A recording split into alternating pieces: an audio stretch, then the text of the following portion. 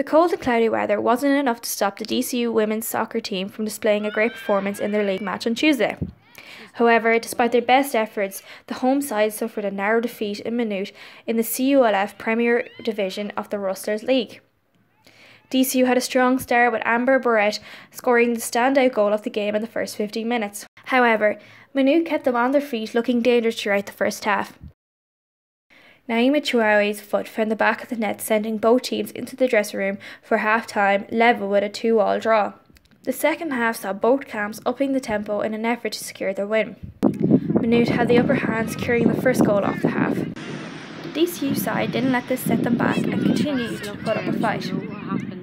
However, the Maynooth team proved that they were the better side, finishing the game with a strong goal from Lauren Riley.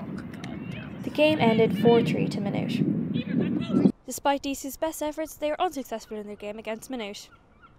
Maynooth's All Ireland goalkeeper had a great performance throughout the game, and Maynooth took more chances. We spoke to a Maynooth player to get her reaction from the game. Uh, it was a good game. Um, I didn't think DCU had a had a like a good team, but they had a very good team, strong players, very uh, very very competitive they are. You have Amber coming in now from Maynooth University and she has a lot of experience. And even for the other girls I have like Carly I saw and um, Jade Reddy and Lynn and all them. Even Ashling the captain there just very strong team. It was very impressive to come and play against you know